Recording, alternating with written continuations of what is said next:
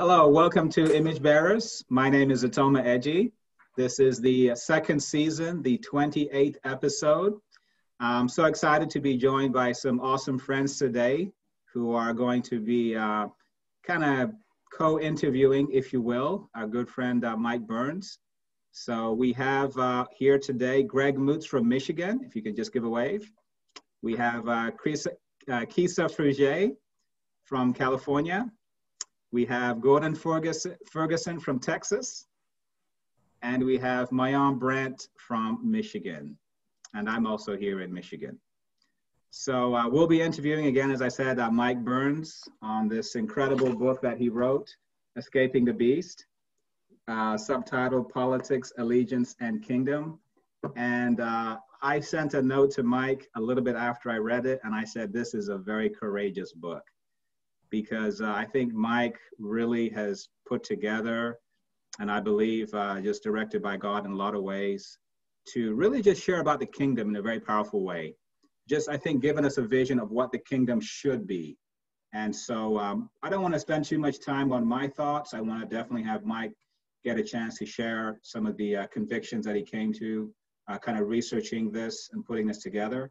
So again, thanks again for joining us, Mike. My pleasure to be here. Thank you. Amen. Well, it's especially fun to be here with such a, an esteemed group. Um, I'm I'm looking forward to it. Um, you know, everybody on here is awesome, and and and I, I will say, you know, Gordon's my hero. So um, it's uh, it's good to be here. Amen. So uh, we're going to go ahead and uh, jump right in. Greg, take it away. Sure. Yeah. Um. First question. Um, in the first part of your book, you compare the lion to the lamb, and I really liked your analogy or, or the, the teaching I mean in there. I'd never seen that the rider on the white horse was victorious with only the blood of the lamb and the word of God. I thought that was a great insight. I read that lots, and I never really caught that before. So I thank you for that, certainly. Um, and I, you know, the analogy of the lion to the lamb is a great analogy for, or an example of the kingdom mindset that we should have as we approach the injustices in the world. And I was just wondering if you could share a little bit um, about the lamb and the revelation and the mindset that we should have when looking at the lamb. And it's so tempting to be the lion and so tempting to be what seems so powerful. Yeah, sure. I uh, appreciate the question. Uh, you know, I think there's a there's a, a bit of a pattern that you see in Revelation that that happens um, quite a few times where John will hear something and turn to look and then see something else which sort of, you know, other than what he heard. Uh, and it's similar, but it often brings out a different aspect or a, a deeper truth uh, of the first thing. And so in, in, Revelation 5, you know, there's this scroll and the no one can open it. And I, I've sort of shorthanded it and say, you know, I mean, it's really deep what's in the scroll, but in a shorthand, it's kind of the solution to fix all the problems of mankind and no no one is worthy to open the scroll. And uh, and then an elder steps forward and says you know there is one. There's the lion of the tribe of judah. And as john turns he doesn't see a, a lion. He's what he sees is a lamb. And and that's not to at all put down uh, the lion of the tribe of judah. There's no question that jesus is is a lion. He's he's fierce and he's powerful but he looks like a lamb. And so really the I think the the back and forth comparison in the book of Revelation that John really wants us to see is is the the comparison between the lamb and the beast.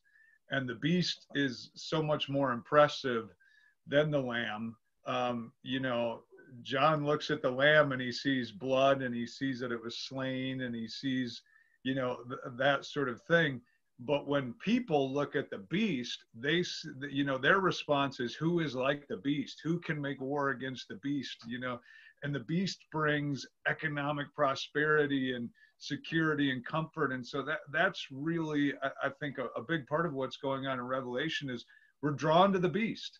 Uh, but it's this this lamb this way of sacrifice of laying down our lives that we're called to because we see it too in in chapter 12, it says, you know, the people of the Messiah triumphed over the dragon by the blood of the lamb and the word of their own testimony. So there again is that idea of just it's the, the word and the blood of the lamb.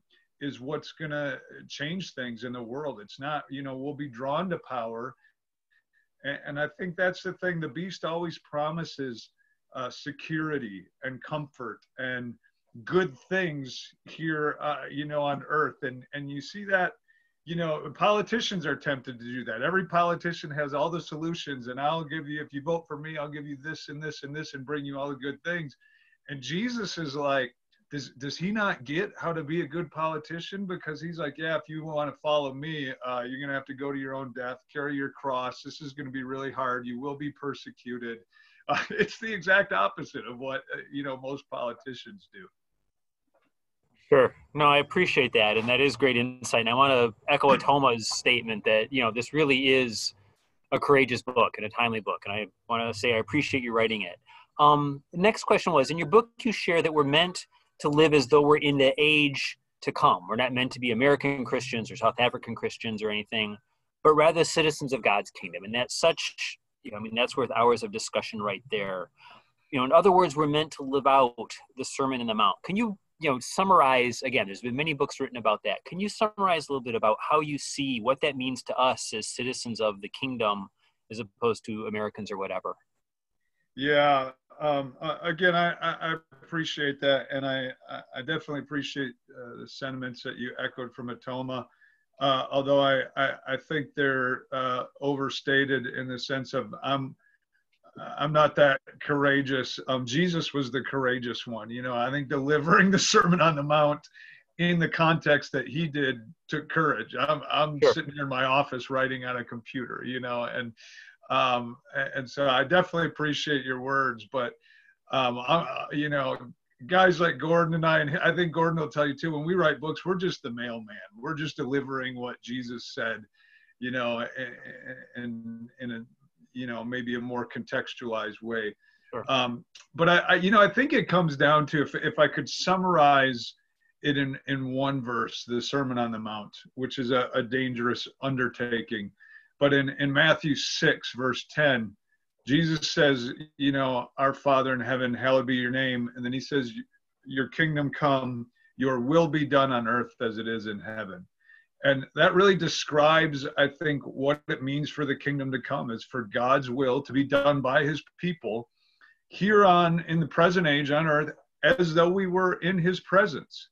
You know, and and you think about that, there's there's an element of human nature. You know when i was a kid i acted differently when my parents are, were around versus when they left the house. You know i obeyed a little bit differently um, you know we tend to drive a little bit differently if we're in the presence of a state trooper um, and so what jesus is saying is I, I want you to become people who recognize that you're always in the presence of god that you you know and and live that way but live as though we were already in that future age. And so the what Jesus goes on to describe in chapter 5 and really throughout the Sermon on the Mount, but especially the, the last 10 verses of chapter 5 is this this you know in the age to come um, there won't be evil. There won't be enemies. There won't be you know violence and that sort of thing. And so jesus is saying i want you to live that way now. Uh, if somebody hits you in the face, you don't have enemies. So you have to figure out how you're going to respond to this person when you don't have enemies, when you don't have hate. You don't speak the language of hate. You don't speak the language of violence. And that's that's risky stuff. And that's again, that's kind of the theme of the kingdom is that empire offers safety. The kingdom is risky in, in the present age, especially because it calls us to a life that's not fair um, and, and, so there's always this this weird sort of irony of the kingdom of where we're living out justice for other people while at the same time not expecting it for ourselves. We're you know we're we're living for the benefit of others but sacrificing ourselves and that's that's really the embodiment of the sermon on the mount in the kingdom is how, how do we live that way it's easy to say but it's it's hard harder to do yeah, amen. That's so true. Thank you for that. I, I appreciate that. And it really is where the rubber meets the road as, as Christians. Absolutely. Oh, Gordon, you're on mute. Okay. I, I do have several questions for you, Michael. All right. Uh, Michael is uh, definitely one of my heroes. I'll get to summarize a bit today at the end about his book and the effect that it had on me. But uh, he's written several books that have had tremendous effect on me. Uh, this book on uh, Escaping the Beast, I love the political theme of that, uh, going back to Revelation, because that book is very, very important in contrasting God's kingdom with the Roman Empire. But um, when we uh, look at how we respond to political entities or to the kingdom of God, you use the word allegiance a lot, which is a wonderful concept. And so the question arises if our allegiance gets out of uh, balance or gets uh, off focus, and we focus too much on politics, then that's going to affect uh, what you have called prophetic voice that the church or God's kingdom is to have. And so, love to hear you discuss some about what happens when the allegiance gets all focused onto politics, how that affects our allegiance to the kingdom. And then also, you commented that uh, our prophetic voice uh, to the world, our example to the world, has to begin with us in the kingdom of God and how we take care of each other, uh, how we seek justice uh, for one another in the kingdom.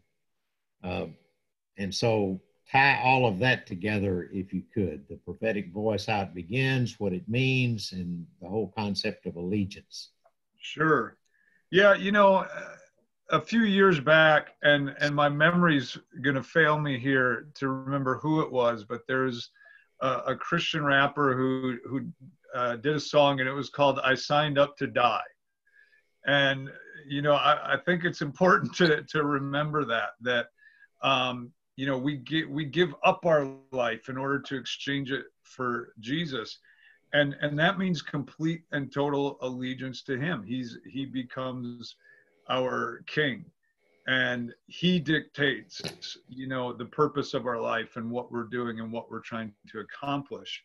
And if we don't give him total allegiance then we will be become representing other things. We'll be an ambassador for other things. And just on a practical level i've seen a lot of christians that you know are well meaning and i love them but i can go to their social media page and immediately tell you where their political allegiances lie and where their national allegiances lie.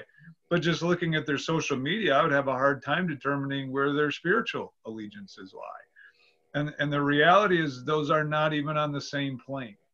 And so in the, you know, in the early church, when they declared that Jesus is Lord, there was an implicit uh, statement there being made that Caesar was not, that Rome was not their primary allegiance, that they were divesting of their political and national allegiances in order to follow the kingdom that the that the agendas of the two were so different that you couldn't be holden to to both of them uh, at the same time. And and I've said often I think and I'm not advocating that we change uh, our wording but just to understand I think if if we were to make a, a baptismal statement like Jesus is Lord that was as subversive and challenging politically for us as Jesus as Lord was for the early Christians, it would be I pledge allegiance to Jesus. And, you know, to, to challenge that. But I think I, I think in being the prophetic community, and I and I borrow that phrase from Brueggemann, and it, it's it's uh, he's a biblical scholar, and, it's not related to prophecy in the sense of foretelling the future, but uh, prophetic in the sense of speaking God's word to the culture, and and being a society that again, and here here's that idea that Greg asked about of the the age to come, where we're rooted in the future, and and the way I see it is conservatives, and, I'm broadly generalizing here, tend to be rooted in the past and so they idealize the past. Let's go back to the past. That's when we were great. That's how we'll become great again. Let's keep the values of the past. And so they, they really create a, a false idealized version of the past mm-hmm. uh, in order to inform the present. Liberals tend to be all about the present because we, we've got to change things now. We've got to fix now and we keep progressing, and there's that idea of progressivism. We keep progressing, we'll reach utopia. And so, liberals, if we focus on the present, will reach utopia. Conservatives are, if we keep focused on the past, will reach utopia. And the prophetic community is actually rooted in the future and says we, we've got to look at what, where God is taking the world, who God wants us to be down the road, and then start living that way now. And, and I think that helps keep us informed where we don't, we don't ignore the past, we don't become numb to the present, but we, we interpret the past based on the future and we act in the present based on uh, you know representing the kingdom of god and and the last thing i'll say on that is this you know I, I can't speak for every church or every situation but i know what i've experienced in you know my fellowship our fellowship of churches was um, you know when i studied the bible to become a christian um, you know, I was studied through and, and brothers sat down with me and talked about my, my personal sins. And we looked at passages like Galatians 5 and talked about the things that I needed to change and repent of and turn over to Jesus. And that was all good. But what I don't see um, very often is a focus on some of the more corporate, cultural, societal sins. And, uh, you know, I know, Gordon, you and I have talked about this, and I think we uh, agree on this pretty firmly. But you know, and, and we're actually you know working on some things here um, of how to address that in in our Bible studies of how to address you know our, our nationalistic allegiances political allegiances racial allegiances and prejudices and materialistic allegiances culturally and some of those things that are really causing division because what happens is if we don't examine those we kind of smuggle them in with us to the kingdom and, and, then they become divisive because we have these different side of the aisle sort of allegiances and we haven't dropped them. And you know I, I think the reason the new testament highlights the fact that two of jesus core followers were a zealot and a tax collector is not to say hey you know what? These two guys just didn't talk about politics. Because I, I can imagine it if that was their scenario they wouldn't have gotten any farther past you know when jesus was asked in the temple should we take should we pay taxes to caesar or not? The zealot and the tax collector are going to have a fist fight over that question. But it's it's brought up in the new testament because they've dropped those allegiances and it's showing look guys from either side of the aisle have dropped these allegiances to follow jesus to make him king. And that's how we're going to you know that's what we need to do in the kingdom uh, we have these arguments and start to look just like the world because, quite frankly, I don't think Jesus is our sole allegiance. Well, that's uh, that's a lot in a short time there, Michael. But uh, you've tempted me now to rewrite the uh, confession. I pledge allegiance to Christ, His kingdom. Uh, so I'll probably get in trouble with that one. The next question ties right in, though, with uh, what you said there about the allegiance part. Uh, can you say a few words about how our family of churches might consider a theopolitical stance uh, regarding how we respond to various political matters that come up, practical considerations, guidelines, whatever that could help us? But uh, explain what you mean by theopolitical and uh, how we could use that to address the subject of politics in a very spiritual way. Yeah, no, I appreciate the question, and and you know a lot of I've been asked a lot lately, like, well, how should we engage in politics? I'm like, well, that's why I wrote a book. It, it, took me a whole book to answer that one question. Um, you know, I guess I got to work on on being more concise. Um, but uh, yeah, I, you know, I, I think the term theopolitical for me simply is refocusing uh, our, our political eyes uh, with God first and saying, you know, that's, that's what has to come first again is, is the kingdom. But, you know, you kind of have equal and opposite ends. You have uh, you know, a Christian tradition of pietism where we just say, you know, let's withdraw from the world and just focus on spiritual things and making disciples and that kind of thing. And and I understand that temptation. Believe me, I've uh, there's been times when I've driven by an Amish settlement and been like, you know, they might be onto something there. Let's just all move to the same place and not have to deal with all this stuff. Um, but I, I don't think that that uh, you know that model will help us be the salt and light of the world the way you know Jesus called us to be. I think for me the one commonality of salt, light, and a city on the hill is you know when they're there. You know, there's no mistaking it. And, and on the other end is, you know, full bore, let's go social justice, let's follow the solutions of the world. Um, I'm not advocating for any of, of that either. Uh, I think, you know, some of those movements can point out some of the problems that we see in the world, but they don't have the solutions if they're not following God's word and God's kingdom. And so, um, I, I, find that approach uh, lacking as well. And so I think we can be engaged. God is, you know, passionate about justice. Uh, people who are like, oh, the church shouldn't be involved in justice. I, am kind of like, have you read the Bible? Like, have, have you looked at it lately? You know, uh, what does Micah 6 8? You know, act, act justly, you know, walk humbly, love mercy. Um, that that's a key of of what God wants us to be. And so, you know, I, I take several chapters to lay out the guidelines, but I think um, or some suggestions, principles we can have in kind of guiding us in how we can engage, because I think we should engage with the world. Um, and, and you know, the first thing is to focus our allegiance on Jesus. If if that's not set, we're going to get off very quickly, and we'll start following our passions and I believe in Romans 8 it says, you know, if our eyes are not set on the things, or, or our hearts are not set on the things of the Spirit, we're not going to be able to please God. We're going to go after our own desires. Um, I think the second guideline is really important is understanding the nature of the kingdom and that the kingdom has to be chosen. The minute the kingdom is impressed on somebody, it stops being the kingdom, in my opinion.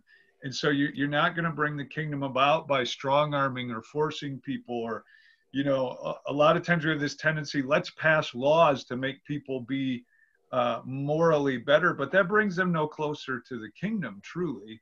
Um, there might be a benefit to passing laws. I'm not saying, uh, you know, I'm not advocating for a- anarchy, but I'm just saying we've got to clearly distinguish here what we are doing.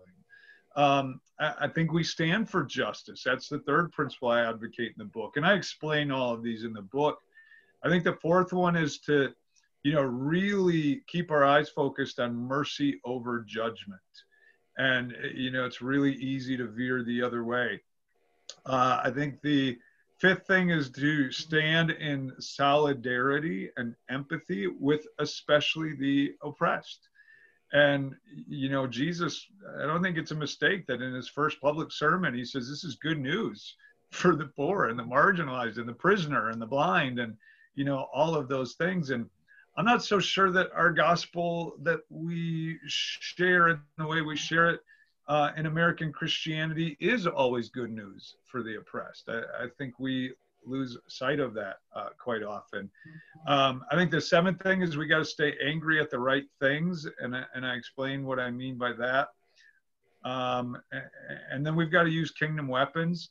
I think that's really vital. You know, I lean probably I, I haven't counted up, but probably the most quoted verse in Escaping the Beast is or passage is Second Corinthians 10, 2 to 5, you know, where Paul talks about not using the weapons of the world and not uh, going that route. And it's interesting because I've, I've, I get accused every now and then of advocating for, you know, things like social justice. And I'm like, not, not remotely. You either haven't read what I've written or you're uh, committed to, you know, misinterpreting what I say because I'm about God's justice and not social justice. Um, we have to be sacrificial. Uh, that's the next principle. I think it's really important to consider what that looks like and then the, the, the final point that I bring out, the final guideline is where is our action going to take place? And, you know, in other words, I think a lot of what the New Testament calls us to is to become an alternate society. And we can get really distracted by wanting to fix everything in the world. And it kind of reminds me, you know, Jesus' response when he says, Look, you'll always have the poor. You're not going to be able to uh, fix everything in the world, but we've got to create an alternate society that sometimes, and I, and I lay out, I think, when that might be, we do have to step out and, and stand up for those who can't speak for themselves. Um, but I think that's a, a, a big part of um, you know, the, the kingdom is creating a true alternative uh, so that we can look to the world and say, hey, here's what it looks like when Jesus is king. Okay, Michael, very helpful. When I uh, started reading your book, I wondered how many specifics you would get into about what should we do in this case or that case or the other case. And uh, I was surprised with all of the very specific practicals that you gave. And so now I'm motivated to go back and read the book again. And I think uh, probably during this uh, election period, we all should read it uh, more than once. The uh, third question that I have uh, ties into your being a history teacher in an interesting way, because uh, one thing that makes your writing as good as it is is that you have such a sense of history and the things that have occurred and are therefore likely to occur in a given setting. But the question is this if we decide to engage in justice in society, you cite William Wilberforce. Can you share about the unique way that he fought uh, the injustice of slavery uh, in Britain? Yeah, you know, Wilberforce is a really interesting guy, and if I'm going to be honest, I, I I, hesitated using Wilberforce as an example because, in one hand, I really like his example. On the other hand, um, I was concerned with the direction that it would lead because I, I find Wilberforce to be the exception rather than the norm and so what what i you know what i describe in one of the chapters there is you know i, I use the amish as an example. I use some of the you know movements that have gone full into politics and you know let's let's use the politics of the world to gain influence and change things. And wilberforce in england in the 19th century is is really different because he's deeply committed to he, he and the group that he was part of to um, changing the world through kingdom methods. And and so he, he was deeply committed to that. And he would pray long like sometimes years before getting involved with an issue and seek how are we going to do this with kingdom wisdom and not just run in uh, and let the passions of the day rule or what have you but how are we going to bring this about through strictly kingdom methods? And so he he stepped into the world of politics. And that's the part where i say I, I, think that's the exception rather than the norm. But he went into politics for the purpose of ending slavery. That was his main goal. It was his life's work. And he he eventually ended the slave trade. He was a deeply spiritual man who was who was led uh, in prayer and and somehow avoided the game the the temptation of political power and you know because i think a lot of people go into politics with good intentions and they get corrupted very quickly. And and wilberforce was able to i think resist that. And and again with such radical kingdom methods that sometimes people look it it's even controversial. Uh, because for example he, uh, you, you know, as he's trying to end slavery and, and free slaves, he advocated for paying slave owners, uh, remunerating them for their slaves. And some of us would look and say that's horrible. And Wilberforce's point was, we're not going to show the kingdom by, you know, sort of imposing our will on somebody else and taking away what they feel is their property, even if we feel that that's monstrous and it shouldn't be their property, we're going to show compassion and empathy and love and, and justice here. And, and, and so, you know, he advocated for things like that, um, always doing it in a very specific way. And so I think that's a, an important picture uh, for us. And yet, uh, not to the point where I would say, let's all rush out and run for office. Uh, I think there's a lot of questions to ask and a lot of uh, steps to try before uh, we we get to that. And, and, I think there is a time and place, and I talk about that in, in the book, some of those specifics. But um, yeah, Wilberforce is a you know uh, a very influential guy to the point that I think you see the difference in between England and the United States. England doesn't have a war to end slavery. Um, the, the, United States did, and I think one of the big differences was uh, a guy like Wilberforce. Thank you, Mike. That's uh, that's really informative, interesting, and at the same time, the warning of how he did it uh, compared to how we're t- uh, we tend to do it is important difference to know. Thank you. Yes, I appreciate uh, everything that you've shared so far has been very helpful and informative. And my question is um, the primary lesson from the book is that we should very rarely engage in matters outside of the church. But when and if we do engage, you provide some principles that we can follow. One of them is self sacrifice. Yep. Can you please share about that and how that might look um, along with any other principles that we should consider? Gosh, I, I appreciate that question. Now, you're tempting me though, because we, you know, we're, we're trying to keep to a time limit here, and each one of these I, I, I want to go off on. Uh, but, you know, I, I think the passage to me, I mean, there's so many passages in the Bible about self sacrifice, but I think one that stands out to me uh, in this kind of context is, is actually in First Corinthians 12, 21 to 26. Now, I, I think there's no mistake that that passage takes place right before Paul says, Now let me show you the most excellent way, and starts the, the beautiful poem from First Corinthians 13 about love, um, which is, you know, love is all about self sacrifice. But in First Corinthians, I'll kind of jump into the middle of the context. He's really addressing a church that is divided in many different ways.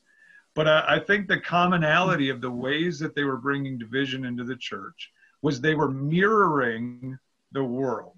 They were not mm-hmm. examining what they were doing. They were not considering the kingdom and the body, and they were looking just like the world in many ways. And in chapter 11, that's basically what Paul is saying about communion. He, he's he's describing a community where you have you know rich disciples who have leisure time, lots of food, big houses. They're meeting together for communion meals, and you get the impression what's probably happening is those who are enslaved Christians, those who are hardworking, poor, you know, lower class Christians, well, they can't do that. They they're coming later in the day after work or when they're available. They don't have a lot of food or supplies to bring. They were probably kept in a different room from the socially um, honorable people. You know, they're kind of they're, they're called the weak or the dishonored.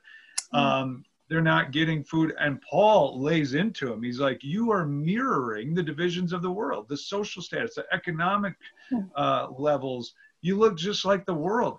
And he actually goes and says, When you take the Lord's Supper, it's not even the Lord's Supper anymore because hmm. it's kind of a worldly supper because you're looking just like them. And I think he continues that theme in chapter 12 when he starts talking about the gifts because now they're creating a hierarchy based on what gift you have. And again, they're hmm. mirroring these social statuses of the world.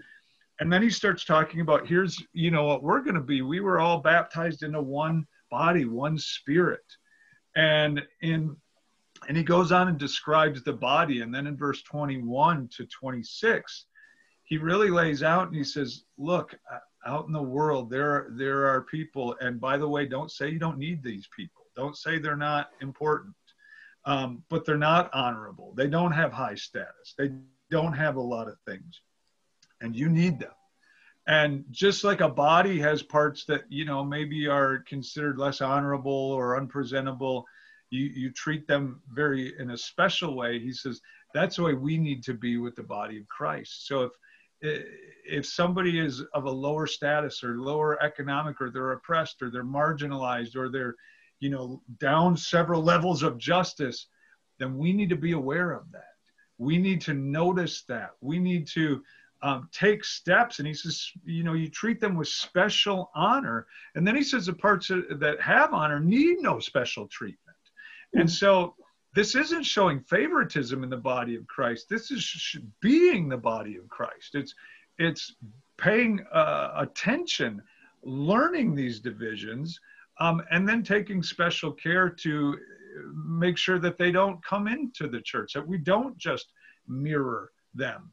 Um, you see that right away. One of the first things the church does in Acts is they immediately, you know, they they took up and laid what they had at the apostles' feet, and they they started to bring about sort of economic equity. Paul calls for that in Second Corinthians eight. You know, he says it's not so mm. that what we don't want is one to have a lot and one to have nothing. We want everybody to have a, a sufficient amount, and whatever it may be. Because here's what happens otherwise is let's say we plant a church and it's in a very segregated community where you have white people who tend to be much higher on the economic scale living in one community and then you have you know black indigenous people of color living in another community much lower on the economic scale because of in large part some of the systemic things that have gone on in history and the inequities and um, you know lack of access to things and now we plant a church and we bring that in and we don't address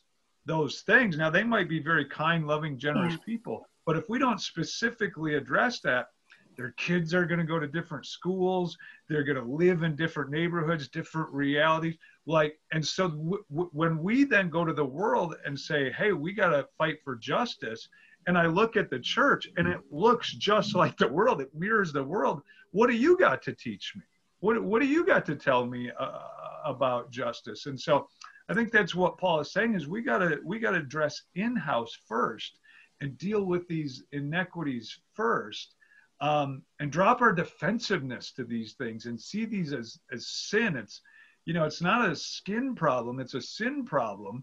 And we've got to look at the injustices and inequities created by sin and say, how are we really going to be the alternate community um, you know, I, I, I think that's the challenge before us. Definitely a lot to consider. And I uh, really appreciate your insight on that. Thank you. Yeah, I agree. So it's such powerful teaching that, uh, I mean, it's just transformative. And um, I wanted to ask you I know that uh, the Two Cities Church has been going through Escaping the Beast. And so I just wanted to ask you, you know, how have you structured the classes, you know, and also what has been the response so far?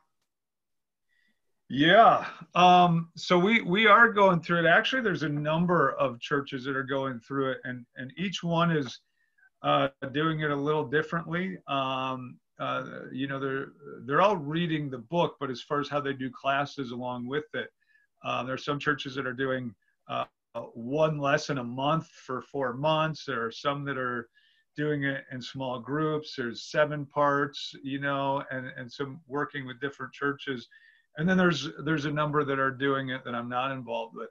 But in the in the two cities church, we uh, we are doing the the book over the course of 10 weeks.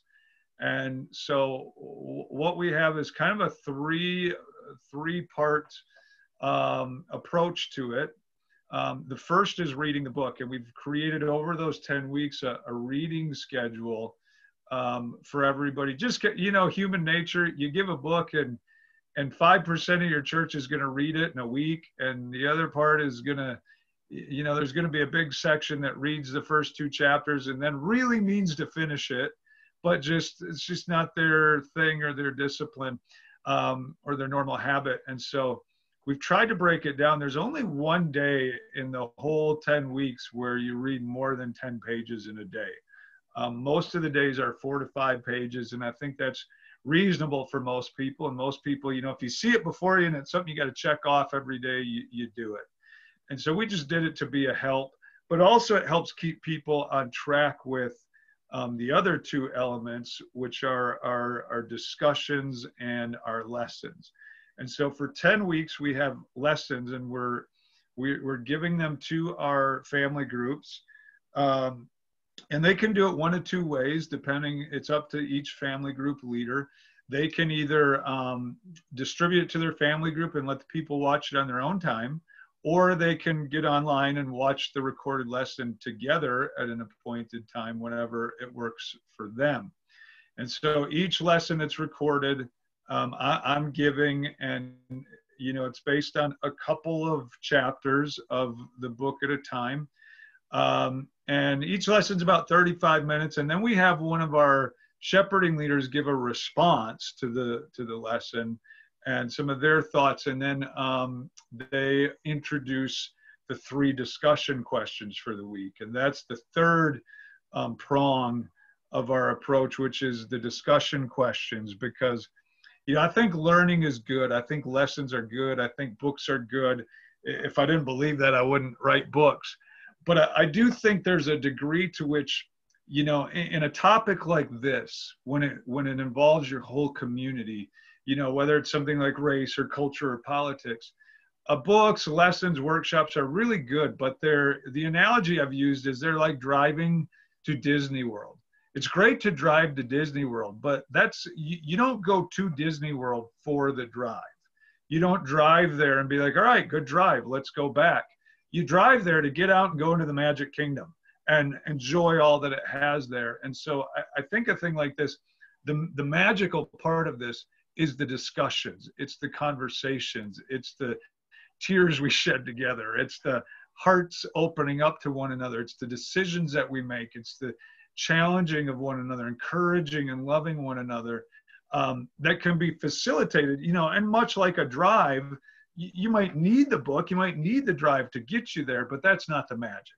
And so we have each week we have three very targeted discussion questions based on the reading, based on the lecture uh, or the lesson that helps us um, sort of facilitate those discussions so that we're not just taking in information, but actually can be um, changed by this and and grow. And I, you know, it it it seems like the response has been um, really good. I, you know, you never know when you're writing a book of this nature and you step in you know i remember when i was writing it and i would joke with people and say you know i've written on politics and or i'm sorry i've written on culture and race and i didn't feel like those were controversial enough so i'm going after politics now and um, i may have no friends left um, when this comes out i don't know but um, it, eh, the response seems to be good and uh, you know this week someone contacted me and, and I think the the best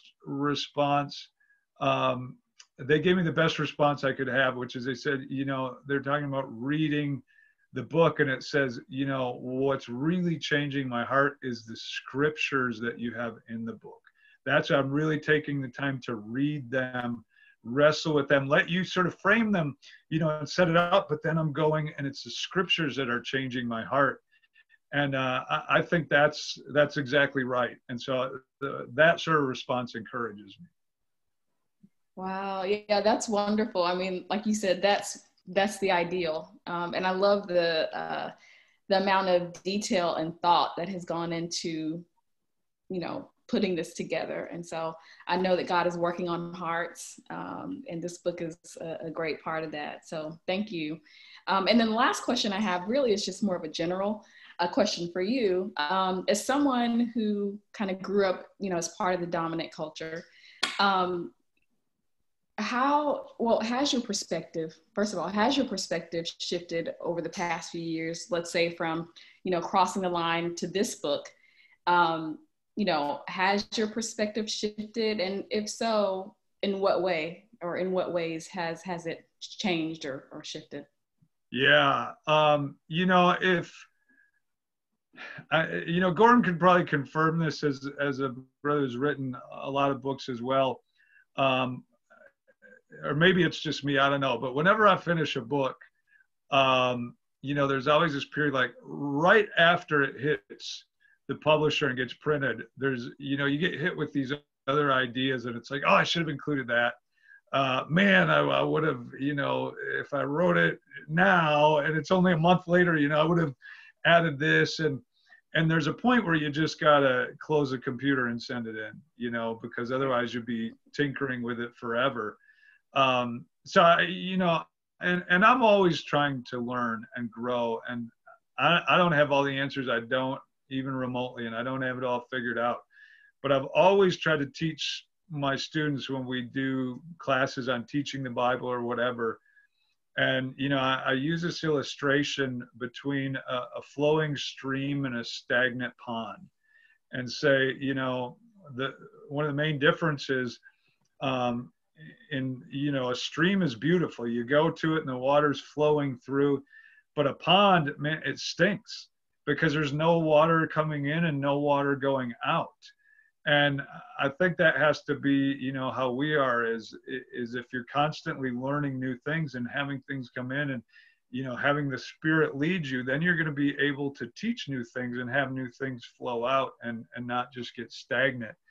Um, so yeah i think i think some of the specific things though are you know when when i wrote crossing the line which i wrote it in 2016 i think and it came out in 2017 um, I, I didn't at that time, um, when I wrote that book, I was like, okay, that that'll be it. Um, I I didn't um, really have in mind. I'd be lying if I said, oh, I, I knew what a what a factor politics played in like topics like race and, and culture. Um, but it was it was actually the process of you know, doing workshop after workshop, and we've we've done over a hundred now. Um, sometimes just myself, and then my wife when she can join um, in, in, churches.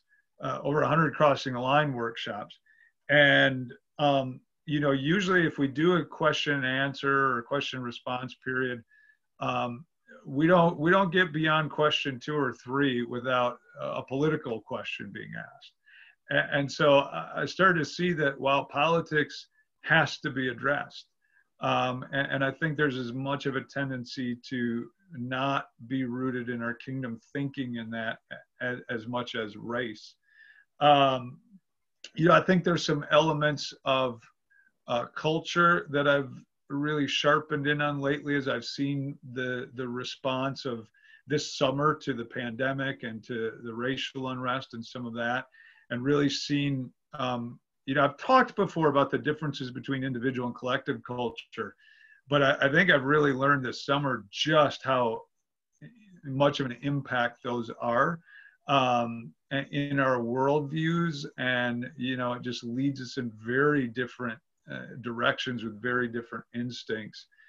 And uh, I think probably the the other thing that I've I've I've grown in um, and, and have learned more about and thought more about, read more about, and, and am probably even more willing to talk about is um, the, the real problem, I think, w- which underlies a lot of um, misunderstanding about racial issues. And I think a lot of times it's easy to think that the problem is separation of the races and that if that's what I think the problem is, then the solution is simply coming together. It's diversity.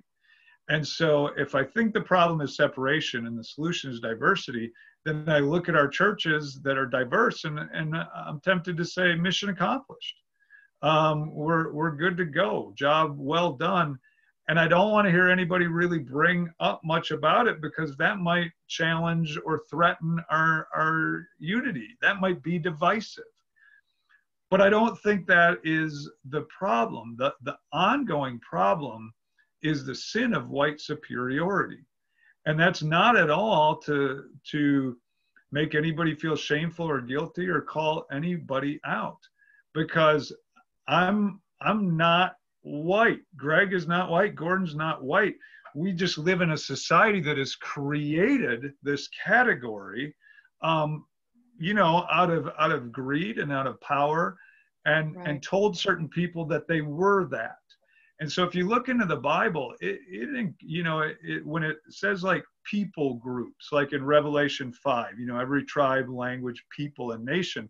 The word behind people there is ta ethnos. It's where we get our word ethnic from. And ethnicity involves, you know, the, the region that we come from, our physical characteristics, our culture, our language, all of those things. God made those differences. He encourages that. We should celebrate those. But the idea that we can be grouped into five or seven little different races based on biological differences in the color of our skin, that has always been a category uh, of superiority. And, and, and it just always has. There's never been a time since race was constructed where white wasn't at the top. And so uh, race is a lie. And well, who's the father of lies? Uh, Satan. Right. And and so I, I think we have to not again. I, I don't feel that's a personal attack on me. That's an attack on on Satan's lies.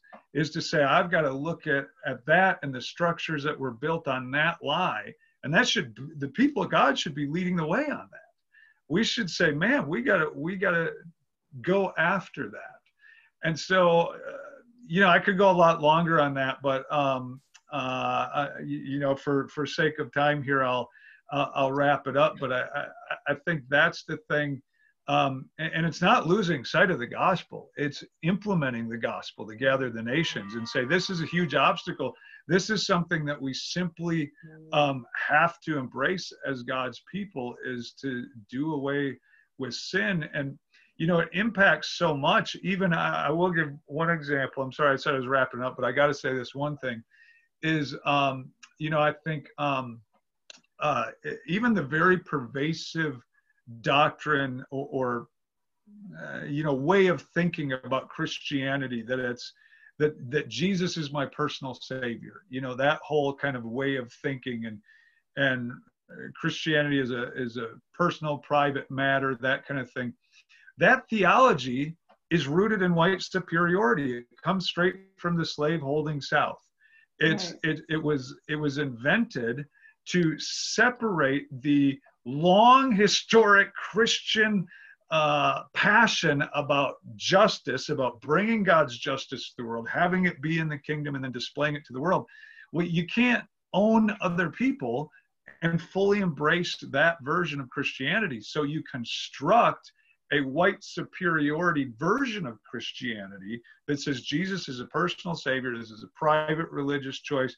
You worship God your way, I'll worship God my way, and don't get involved. And actually creates this mindset that to care about justice in the world is somehow to lose sight of the gospel, is to that comes straight from the slaveholding South. There's just no two ways to cut that. That's that's objective fact.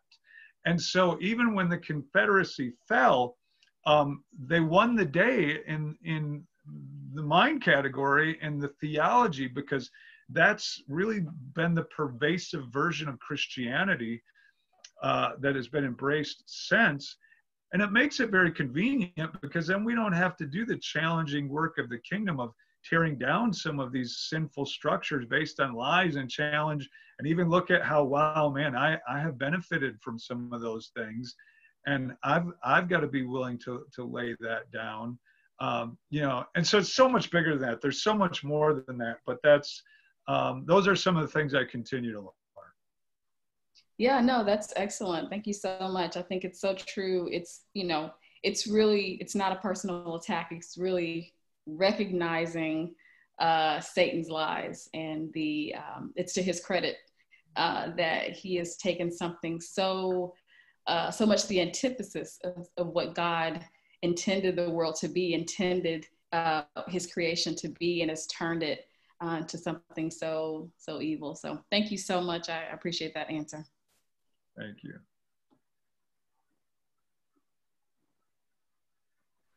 You want to say a few words, Mr. Gordon? Then you're on mute also. Okay.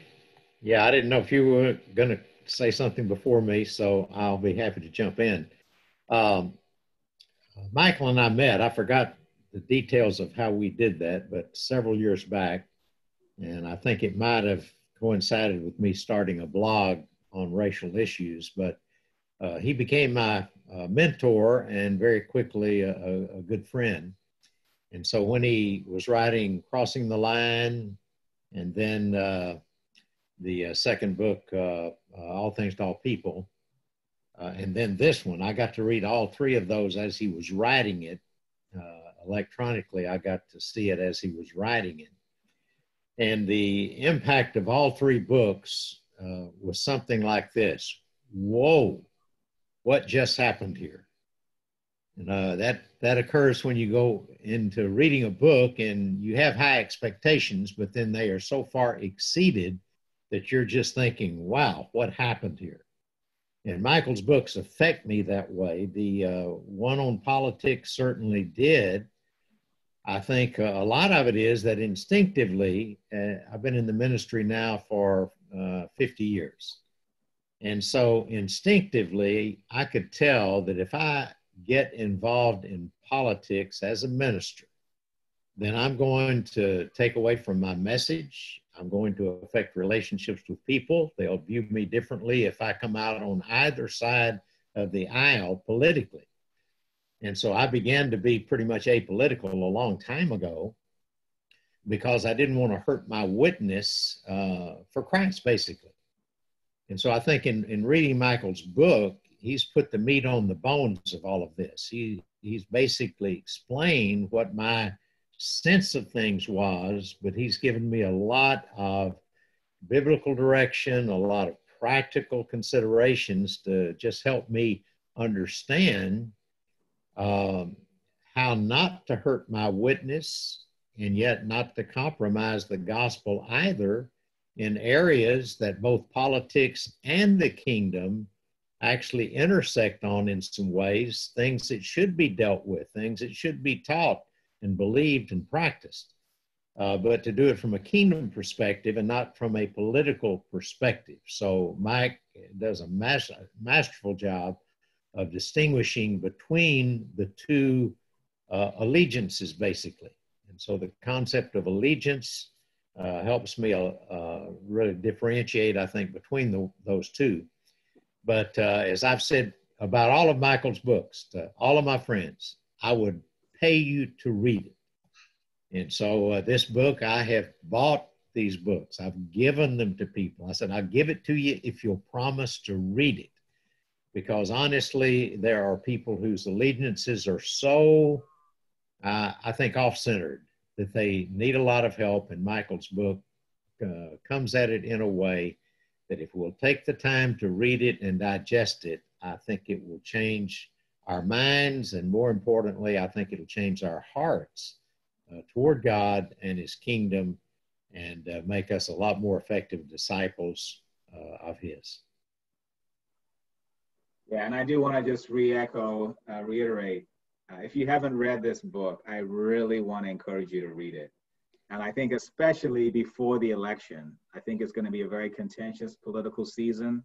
And I think, especially for disciples, to not be partisan, but I think, as Mike said, to be theopolitical, to really have God's view on politics. Um, I did have a quick question, Mike, as we uh, wrap it up.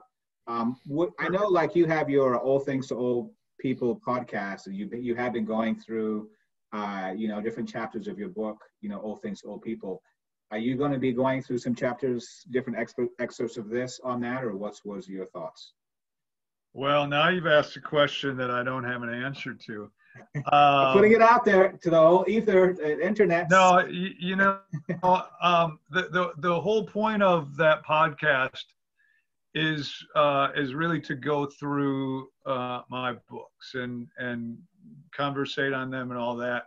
The decision that I haven't made yet, and, and I've been wrestling back and forth because I think we we finish up all things to all people first first week of November is when we'll finish it. And so then my question has been, well, you know, to to do we next go into escaping the beast or um, crossing the line? And you know, I, I can depending on the day, I can swing myself one way or the other. So I think what I'm actually going to do is is you know, I have a pretty healthy Facebook group um, uh, that's you know based on the podcast, the All Things to All People podcast and, I, and I'm going to put a poll on there and let the the listeners decide uh, which which book we go um, through first. And I wish I could say it's because you know I, I I had the thought of you know just including other people and all that, but it's really because I can't make up my mind. Well, I'll, I'll, I'll put uh, one, I may just join that group just to put a couple votes in, uh, just for escaping the beast, just because I think there are going to be so many people on either side of the aisle, win or lose, as far as the election, to just really have a spiritual mindset to come back together and really be that ultimate kingdom and not be American disciples or, you know, Republicans or Democrats, you know. So yeah. That's just my. I, I, appreciate that, and I, I could be proven really wrong here, but I. I would be surprised if we even know who's won the election by the first week of November. So uh, I think we have to be ready for that. It's, it's going to be a bumpy ride. Yes, yes, yes. Um, and I and quite frankly, I'll just say this: politics-wise, for our country, I don't think the bumpy ride ends in November of this year either. I think it's. Uh, um, I think we're actually just getting. We we've been standing in line. We're just getting on the roller coaster now. Um, I think we've got a long way to go. And as the people of God, if we are not really centered on what it means to be the kingdom, um, we're going to be in trouble as well. Mm-hmm.